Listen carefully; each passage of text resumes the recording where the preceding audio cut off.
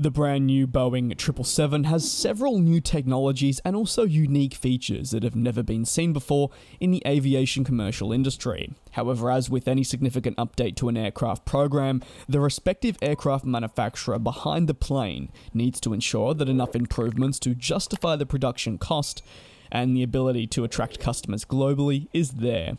One of the most intriguing features on the 777X is the never seen before folding wingtips on a commercial airliner. We've only seen this feature on military planes, and now seeing it on a commercial plane has surprised the general public. Especially with the aircraft yet to fly with passengers, meaning our views of this ingenious device have been limited.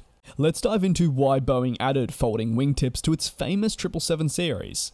First, we must look into the 777X features. The 777X is Boeing's most unique twin aisle aeroplane, based on now the famous aging 777 series. The fact we have to say this series is aging can certainly make one feel old.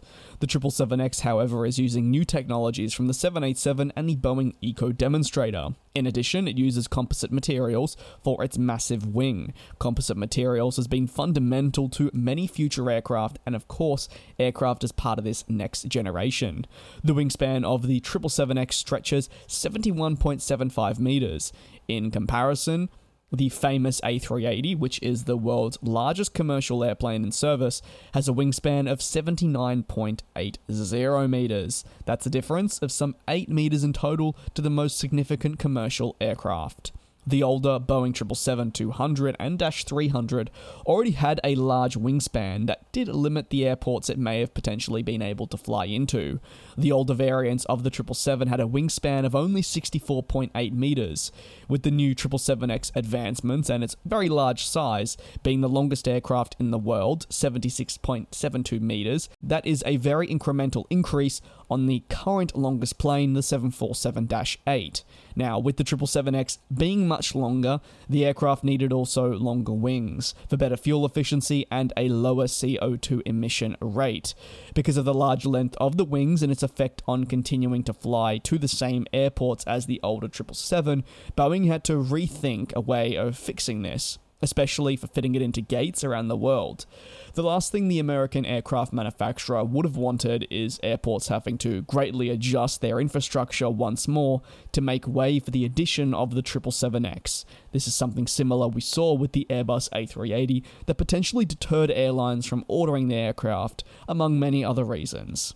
To fix this, Boeing decided to have the end tips of the 777X wing foldable, meaning it could go from 71.25 meters to 64.8.